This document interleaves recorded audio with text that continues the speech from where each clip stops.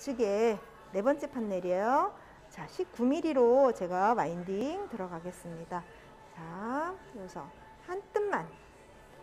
이 부분이 건조가 되면 머리카락하고 빗 사이로 머리카락이 튀어나오게 돼 있어요. 자, 이렇게 툭툭툭 튀어나오죠.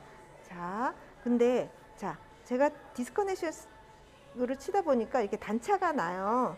그래서 여기서 2초씩 기다려 주시는 거예요. 네. 자, 2초. 또 뜸이 끝뜸이 들어야 되거든요. 그래서 2초. 자, 다시 한번 2초. 네. 또 2초. 자, 여기서 조금만 기다려 보겠습니다. 자, 2초. 네. 자, 또 2초. 네.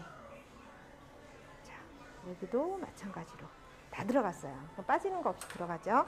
그 다음에 연예인 덮개 덮어주시고요. 네. 이 상태에서 덮개 아이롱을 꺼주세요. 아니, 어, 아이롱에 어, 본체를 꺼주세요. 그 다음에 덮개 아이롱에 이 온도를 활용해서 어, 자, 지금부터 아이롱은 저온이 될 것이고요. 덮개 아이롱은요. 고온 180도로 하고 있습니다. 자, 오, 윤기 많이 나네요. 마지막이라 한 번밖에 더 돌려볼게요. 자, 이렇게 해서 네, 앞으로 놨다가 빼시면 되겠습니다. 자, 보실까요? 우측에 하나, 둘, 셋, 넷, 좌측에 하나, 둘, 셋, 넷, 여덟 개, 아홉 개로 해서 와인딩 끝났습니다.